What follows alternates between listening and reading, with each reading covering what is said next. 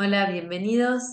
Gracias por la invitación a presentar el protocolo de insulinización en el paciente crítico no diabético. Soy Carolina Caminiti, el Servicio de Nutrición del Hospital Garrahan. Tengo el honor de participar diariamente en el soporte nutricional de los pacientes críticos de las diferentes terapias junto con el resto del equipo y es por eso que tuve la oportunidad de, de participar también en el desarrollo de este protocolo de insulinización junto con la terapia intensiva, especialmente en la terapia de paciente inmunosuprimido, el área de farmacia y eh, diabetología de mi servicio.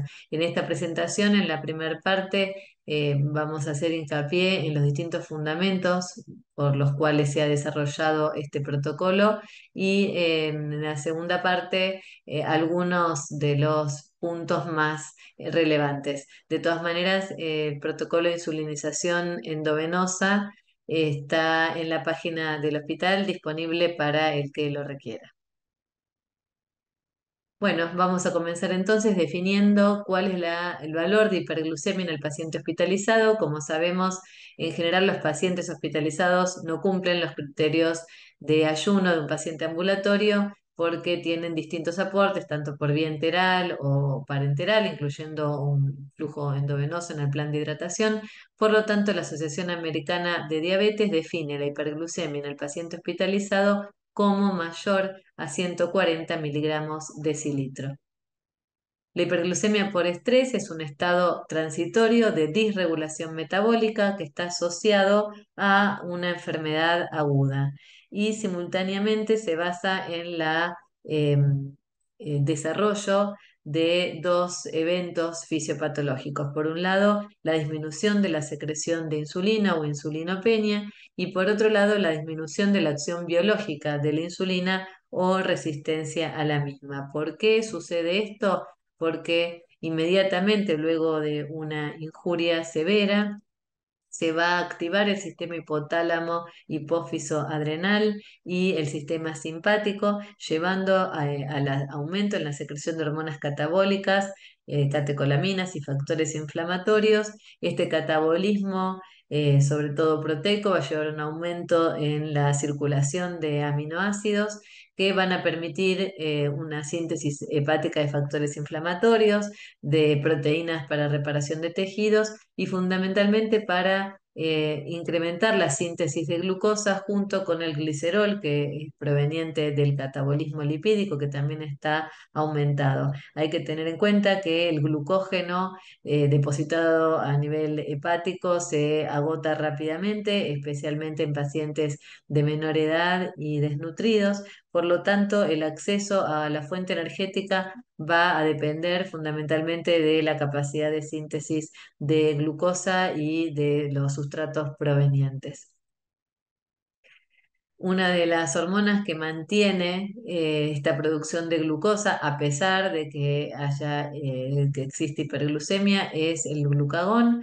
Por otro lado, eh, tanto la secreción de factores inflamatorios como catecolaminas van a bloquear la secreción de insulina y otros Em, eh, otros factores como el cortisol y mismo los factores inflamatorios también van a actuar en diferentes etapas de la acción de la insulina, provocando la eh, resistencia.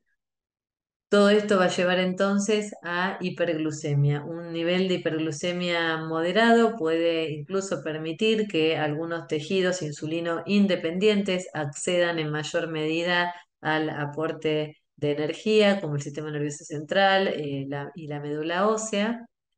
Por lo tanto, la hiperglucemia por estrés es una combinación de, por un lado, el aumento de producción de glucosa hepática y de la reducción de su utilización periférica, ya sea por deficiencia de la insulina como por resistencia periférica a la misma. Dijimos recién entonces que eh, la hiperglucemia se asocia a un incremento de factores inflamatorios. Estos factores inflamatorios a su vez inhiben la secreción y la señal insulínica, provocando a su vez hiperglucemia. Por lo tanto, son dos situaciones que se perpetúan mutuamente. Eh, la hiperglucemia moderada dijimos que puede permitir el acceso a energía de algunos tejidos insulino independientes pero una hiperglucemia de mayor magnitud provoca el eh, aumento de la glucólisis con sobrecarga de glucosa intracelular y acumulación de productos tóxicos que pueden llevar a la disfunción mitocondrial y a la falla orgánica, especialmente de los tejidos más susceptibles como son el hepático y el cardíaco. Hay asociación eh, constatada de mortalidad e hiperglucemia en niños críticos, principalmente asociados a su intensidad, a su duración y a su variabilidad. Entonces, la pregunta que surge de, estas, este, de, estos fundamentos, tanto en que por un lado aumenta el acceso a la energía de los tejidos insulino dependientes, algún grado de hiperglucemia, pero que por otro lado una hiperglucemia más intensa o más duradera puede llevar a la glucotoxicidad, participando en la falla multiorgánica. La pregunta es de tratarla, cuáles serían los objetivos em, eh, más eh, adecuados, eh, evitando por otra parte la, el desarrollo de hipoglucemias que se pueden producir durante su tratamiento.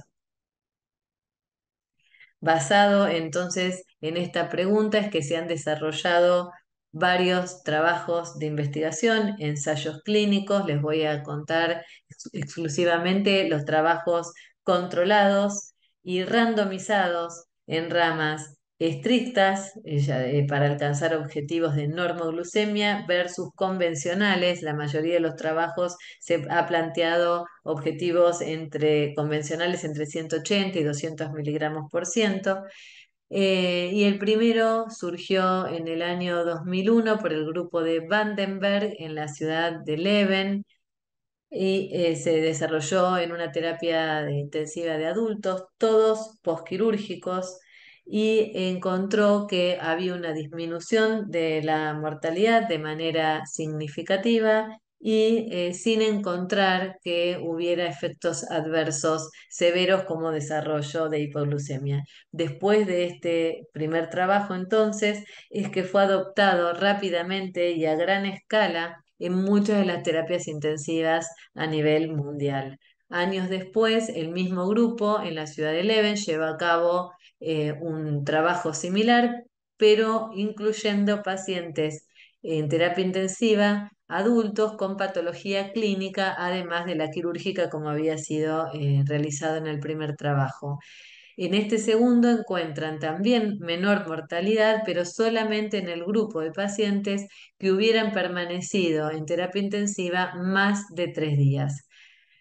Dos o tres años después eh, llevan a cabo en, la misma, en el mismo centro eh, el trabajo realizado en lactantes y niños que encuentran menor mortalidad, pero por primera vez eh, la presencia de un mayor número de hipoglucemias. Es por eso que después de estos trabajos realizados en Leven, una de las críticas fueron que eh, eran, eran, todos trabajos realizados en un único centro y que por lo tanto debían llevarse a cabo trabajos que replicaran estos eh, mismos protocolos eh, de manera multicéntrica e incluso algunos de manera internacional. Entonces, el primero de ellos se realizó en el año 2008 en Alemania, fue el trabajo BICEP, que tuvo que ser detenido su reclutamiento por el riesgo ante la presencia de hipoglucemias severas. Eh, al año siguiente se desarrolló el trabajo internacional en Australia y Nueva Zelanda que se llamó Nice Sugar y encontró lo contrario de lo que se venía eh, o de lo que se había encontrado en los trabajos de Leven, con mayor mortalidad en la rama estricta y mayor número de hipoglucemias e incluso con mayor mortalidad en los pacientes que habían eh, desarrollado hipoglucemias. Posteriormente, en Boston, el grupo de Agus eh, llevó a cabo el estudio SPECS en una eh, terapia intensiva pediátrica en aproximadamente mil niños con patología cardiovascular. No encontraron diferencias en mortalidad en tanto en rama estricta como en rama convencional, pero sí un mayor número de hipoglucemias en la rama estricta. Lo mismo sucedió en un estudio inglés multicéntrico en 13 terapias intensivas pediátricas inglesas, el estudio CHIP, que encontró un mayor número de hipoglucemias. Y eh, posteriormente se desarrolló nuevamente un trabajo en Boston por el grupo de Agus, el llamado Half-Pint, que nuevamente encuentra que no hay diferencias en la mortalidad en el grupo estricto comparado con la rama convencional, pero en, el, en la primera, o sea, en el grupo estricto hubo un alto número de hipoglucemias y este trabajo también tuvo que ser detenido en la mitad del reclutamiento de pacientes eh, ante el riesgo de utilizar esta estrategia. Este trabajo entonces concluye que los niños críticos con hiperglucemia no se benefician de un control estricto, es decir, intentar llevarlos a la normoglucemia comparados con un nivel más permisivo con glucemias entre 150 y 180 miligramos por ciento. Acá cabe aclarar que ninguno de estos trabajos compara una rama estricta con no hacer ningún tratamiento. Todos los trabajos comparan con un objetivo más moderado, en general permitiendo glucemias no más de 180 o 200 miligramos por ciento. Entonces, eh, de alguna manera se concluye que la metodología del grupo de Leven, que era eh, unicéntrica, no pudo ser replicada en estudios eh, en diferentes centros. Y otro de los aspectos fundamentales que se, hace hincapié es que la mayoría de las hipoglucemias se desarrollan ante suspensiones abruptas del aporte enteral. Eh, luego de estos trabajos se han llevado eh, a cabo revisiones sistemáticas y metaanálisis que comparan la rama estricta con la convencional en niños y, eh, bueno, objetivan entonces lo que veníamos presentando, que no hay diferencias en mortalidad entre ambas ramas, pero que la rama, las ramas estrictas tienen incrementos de hipoglucemias e incluso de hipoglucemias severas. Un trabajo descriptivo eh, y prospectivo, em, encontró una asociación en esta cohorte de niños críticos de aproximadamente 1.400 pacientes, una asociación en U entre eh, la glucemia y la mortalidad, constatando que tanto la hipo como la hiperglucemia severa se asocia a mortalidad. Otros trabajos han encontrado que eh, luego de haber llevado a cabo eh, estrategias estrictas para controlar la glucemia, los pacientes que presentaban hipoglucemias ya al año de, de, esas situaciones habían tenido algún compromiso a nivel del lenguaje, motor o cognitivo.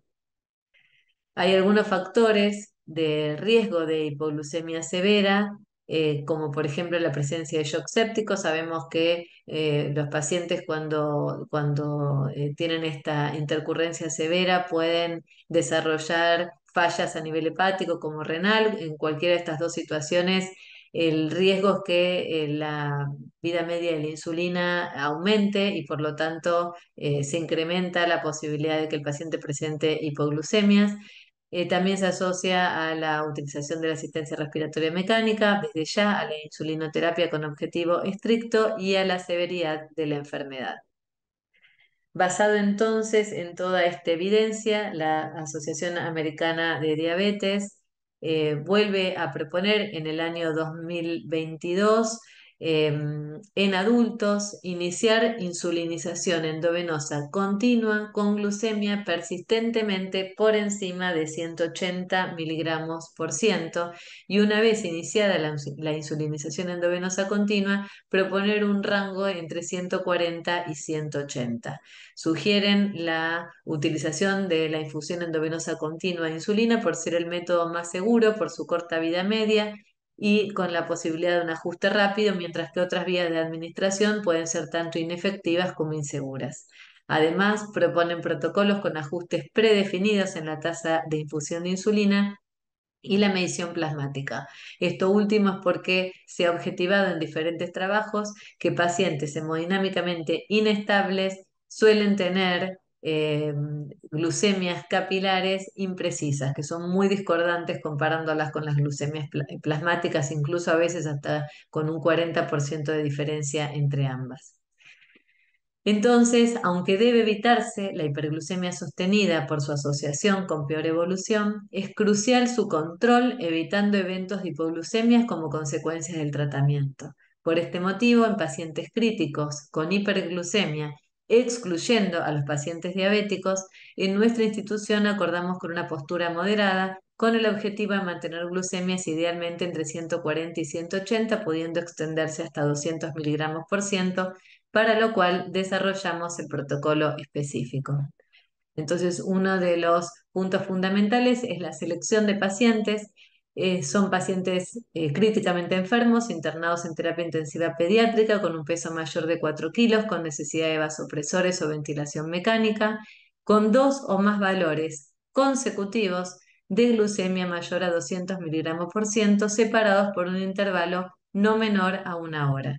En el caso de que el paciente cumpla estos criterios, se iniciará entonces una infusión endovenosa continua de insulina a 0.01 unidad kilo hora. Obviamente, inmediatamente antes de iniciar la infusión hay que confirmar que persista la glucemia por encima de 200 miligramos decilitro.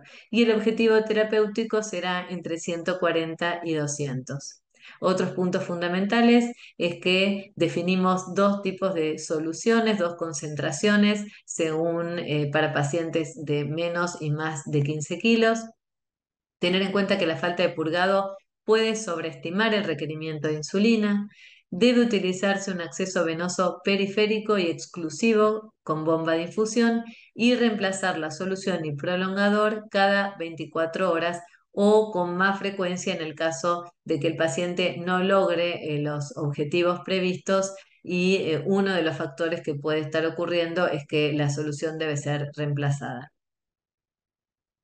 Por otra parte, sugerimos evitar su uso en pacientes con falla hepática, por lo que comentamos eh, en diapositivas previas, ante el aumento de la vida media de la insulina y la dificultad en poder mantener este tratamiento sin provocar hipoglucemias.